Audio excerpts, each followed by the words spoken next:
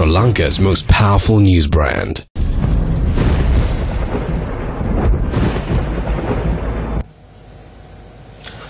පැවති කාලගුණ තත්ත්වය යහපත් අතට පත්වමින් පැවතියත් තවදුරටත් වැසි ඇතිවිය හැකි බව කාලගුණ විද්‍යා දෙපාර්තමේන්තුව පවසනවා.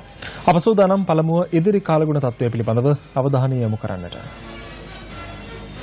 දිවිනේ කාලවල බලපෑම් කළ. ඕචි සුළුගුණාට මිනිට දිවින්ට කිලෝමීටර් 850ක් පමණ බටහිර දෙසින් ස්ථානගතව තිබෙනවා. ඉන්දියාවට ලක්ෂදීප් කියන දූපත් සමූහය හරහා තමයි මේ වෙනවිට එම කුණාටුව හමා යමින් පවතින්නේ මේ කුණාටුවේ බලපෑම දැන් ක්‍රමයෙන් දිවින්ට අඩු වෙමින් පවතින්නේ. මොකද එය ක්‍රමයෙන් බැහැරට අරාබි මුහුද ඔස්සේ උතුරු දෙසට තමයි ගමන් කරමින් පවතින්නේ.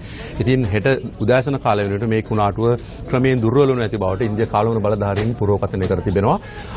අද රාත්‍රී කාලයේදී දිවයිනේ බොහෝ ප්‍රදේශවලට දිගුරුම් සහිත වැසි ඇති හැකි බව කාලවල විද්‍යා දෙපාර්තමේන්තුව පවසනවා. කරනවා අපිට වාර්තා වෙනවා මඩකල ප්‍රදේශයෙන් මේ විටත් වැසි ඇදහැලමින් පවතින බව. හෙට දිනේ වන විට නැගෙනහිර පළාතට ඇතිවන වර්ෂා තත්ත්වය වැඩි වෙන්න පුළුවන්. මේ හෙට දිනේ තත්ත්වය විශේෂයෙන් උදෑසන කාලයේ දිවයිනේ දකුණ බස්නාහිර සබරගමුව ඒ වගේම නැගෙනහිර පළාත් වලට වැසි ඇති වෙන්න පුළුවන් තත්ත්වයක් තමයි පවතින්නේ.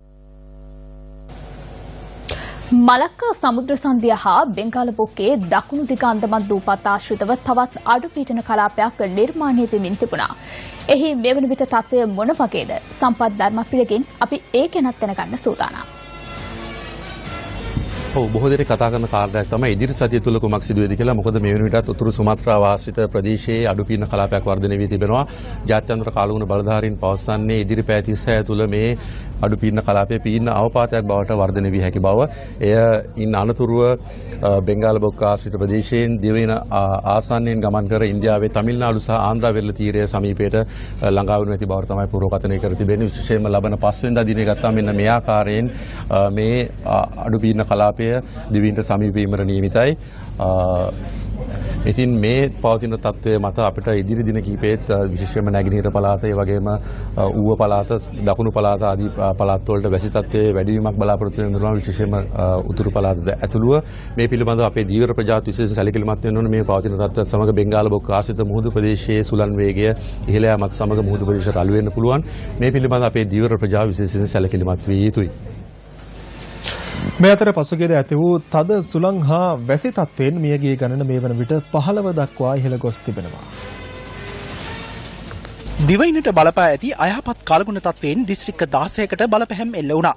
ආපදා කළමනාකරණ මධ්‍යස්ථානයේ අද දහවල් දෙකට නිකුත් කළ නව වාර්තාවට අනුව මියගිය ගණන 13 දක්වා ඉහළ ගොස් තිබෙනවා. පවුල් 31165ක පුද්ගලයන් 1,6076ක් ආපදා තත්ත්වයෙන් පීඩාවට පත්ව ඇතැයිද සඳහන්.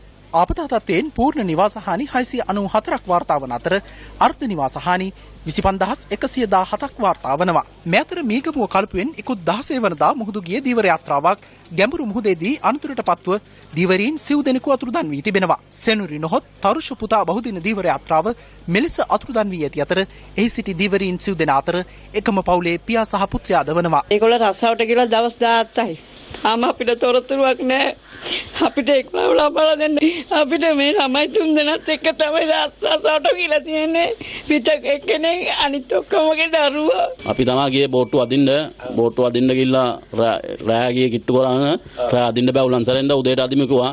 විට විට විස්තර දුන්නා විස්තර දීලා කතා කරලා කිව්වා මේ මාරියාව දැම බෝට්ටු ඇල වෙලා මේ පොළ අපි කිව්වා කොහමද දල්ගොඩ පොරින් කරලා බෝට්ටුව කෙලින් කරා ගන්න කියලා. අපේ ඇංකර් ගැටලා අපිව පාවෙලා අපි කටර ඔක්කොම කඩාගෙන එන්ජින් එක අපෙත් එන්ජින් එක කරලා පාමාරායට විතර මෙහා කතා කරලා කිව්වා අපේ දැන් කෙලින් කරලා ඉන්න අපි ඇංකරෙත් දාගත්තා. අපිට නම් ප්‍රශ්නයක් නැහැ. මං කෝයකට අපිට වතුර දාලා දෙන අපේ මේ කටර ඔක්කොම ගැල්ලා දෙන අපි මේක පොඩ්ඩක් දාගන්නම් කියලා කෝනේ සවන් දෙන්න කියලා කිව්වා. විතර ඒක තමයි එයා අන්තිමට කියපු වචනේ. මේ අතර ගාල්ල දොඩන්දුවෙන් මුහුදු ගොස් අතුරුදන් වූ දීවර යාත්‍රා හතෙහි ගමන් කළ තවත් දීවරයෙකුගේ මල සිරුරක් අද උදෑසන බලපිටිය වෙරළට ගොඩගසා තිබෙනවා. ඊයේද මල සිරුරු තුනක් එම වෙරළ තීරයට ගොඩගසා තිබුණා. පෙරේතා ගාල්ල මුහුදේ දිය නෑමට ගොස් අතුරුදන් වූ 26 හැවිරිදි යුක්රේන ජාතිකයාගේ මල සිරුරද අද උදෑසන ඉඳුරුව වෙරළ තීරයට ගොඩගසා තිබුණා.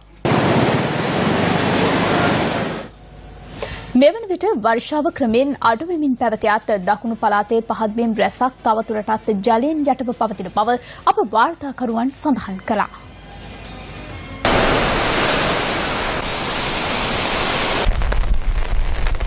අද පස්වරුවේ මඩකලපුව ප්‍රදේශවලට වැසි ඇදහැළුණු අතර තරමක තද සුළංද ඇති වූ බව අප වාර්තාකරුවන් සඳහන් කළා.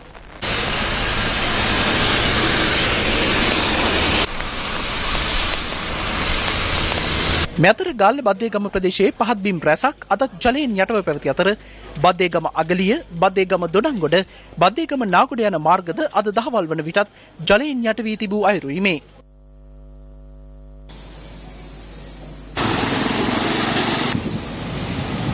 ගාල්ල බෝපි පොද්දල ප්‍රාදේශීය ලේකම් බල ප්‍රදේශයේ පහත් බිම් ආශ්‍රිත නිවාස රැසක්ද තවදුරටත් ජලයෙන් යට වී පවතිනවා.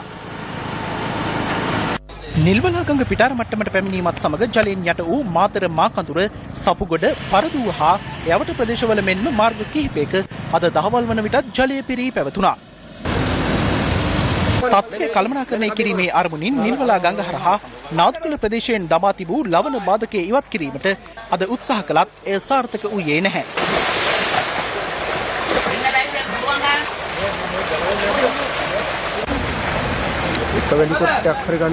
මේ අතර දිස්ත්‍රික් 9කට නිකුත් කළ නායෑමේ අනතුරු ඇඟවීම් තවදුරටත් ක්‍රියාත්මක බව ජාතික ගොඩනැගිලි පර්යේෂණ සංවිධානය පවසනවා.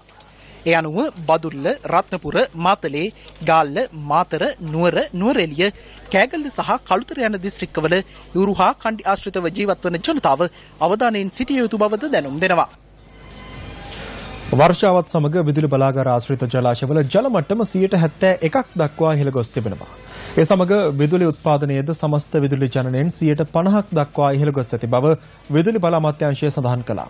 කෙසේ වෙතත් ආපදාවට ලක් වූ ප්‍රදේශ රැසක විදුලි සැපයුම තවමත් යථා තත්ත්වයට පත්ව නැහැ. අයහපත් කාලගුණය හේතුවෙන් බිඳ වැටුණු විදුලි සැපයීම හේතුවෙන් තවදුරටත් ජනතාව පීඩාවට පත්ව සිටිනවා. එහෙත් අදත් විදුලි බල මණ්ඩල සේවකයන් අදාළ දිස්ත්‍රික්කවල විදුලි සැපයීම යථා තත්ත්වයට පත් කිරීමට කටයුතු කළ අයුරුයි මේ.